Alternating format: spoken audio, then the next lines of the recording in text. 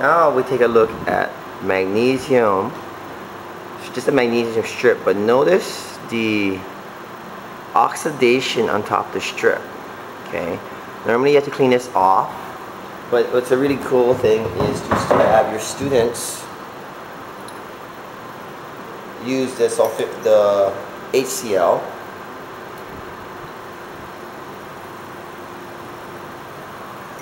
Watch out for gas. Gas is bad. Okay. It's very hot. It's a very it's a very exothermic reaction. Very hot. Careful about that. Let that kind of cool down a little bit.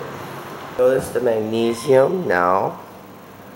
Very clean, very shiny.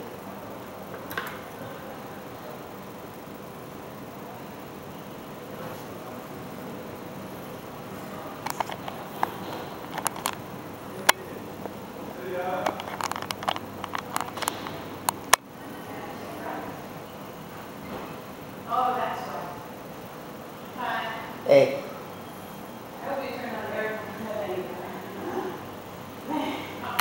try to tell your students not to stare at it. And be very careful with it.